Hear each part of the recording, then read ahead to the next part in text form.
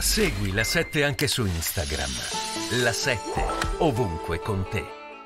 MES non bisogna alimentare le polemiche, lo ha detto anche all'opposizione, pensare all'interesse dell'Italia ed è questo tema lei ha raggruppato un po' tutti questi acronimi anche, eh, tutti sotto il nome di governance economica dell'Europa, no?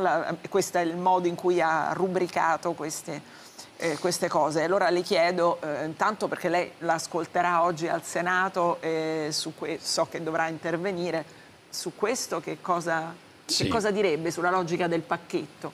Allora, io sono un grande tifoso della logica del pacchetto, l'ho utilizzato in varie occasioni eh, in Italia e in sede eh, comunitaria.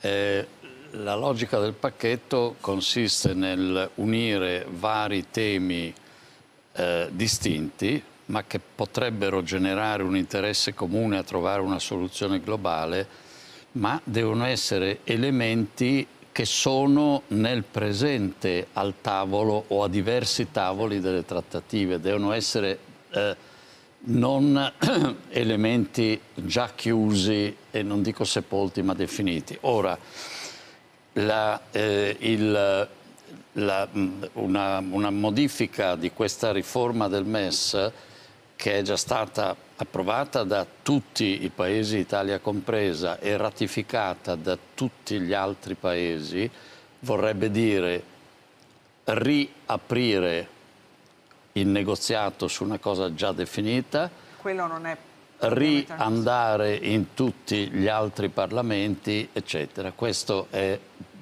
poco e, e, per il futuro seminerebbe un'ulteriore incertezza nell'Unione Europea perché una volta firmato un importante trattato in futuro si direbbe sai cosa? Magari poi verrà invocato il, il Meloni precedent e sì. Eh.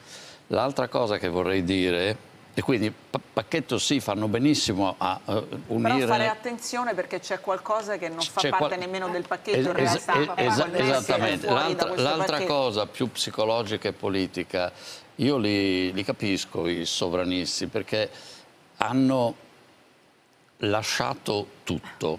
Eh? Eh, rispetto alle posizioni, pensiamo, di, di Salvini, Di Maio e Conte nel 2018. Hanno lasciato tutto il MES è una specie di eh, calcolo renale che è rimasto nel corpo eh, del pensiero sovranista e si fa fatica a espellere un calcolo.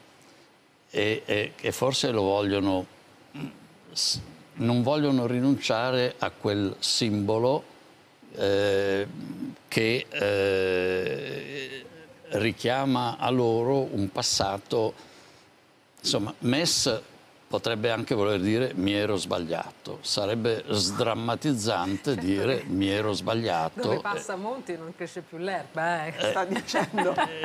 Eh, cioè li hai fatti proprio... Non, non, ma io voglio solo contribuire a, alla soluzione di questo certo, problema. No, cioè, a, pacchetto sì, ma togliamo, eh, togliamo il MES no, da questo. Pacche, pacchetto, pacchetto, sì, sì. di, che cosa, di, che, che cosa, cosa è pacchettabile. Certo. Di che cosa pacchetto Ma il PNRR, cose... le faccio questa domanda sì. telegrafica che dobbiamo purtroppo chiudere e ci stanno, ci stanno, stanno uscendo anche tante notizie, ma eh, il PNRR è pacchettabile? Il PNRR eh, eh, penso di sì. Nel senso, la terza rata è vero che c'è un gioco politico che l'Europa può sin usare? Sinceramente non lo so che margini di discrezionalità ci siano, questo sinceramente non lo so, eh, però ecco, se non altro, per definizione non è una cosa già passata certo, in, in cioè giudicato. Lì, lì c'è uno spazio cioè, di è come dire, mettiamo nel pacchetto la mummia di Tutankhamen e cambiamo una decorazione. Questo, Forse... questo è, pre è, previsto certamente, però bisogna anche che il governo poi le presenti queste richieste di modifica, mi pare che lì c'è un'attesa che questo Beh. accada e non è ancora avvenuto. Eh, allora, ehm, dice, ha detto anche Giorgia Meloni, eh, puntiamo a un fondo europeo per la sovranità. La Commissione europea ha presentato il 20 giugno una piattaforma STEP per semplificare le procedure. eh, che concede flessibilità per i settori strategici. Le parole d'ordine ci sono tutte, austerità, flessibilità, eh, però mi pare che provi anche a mantenere sovranità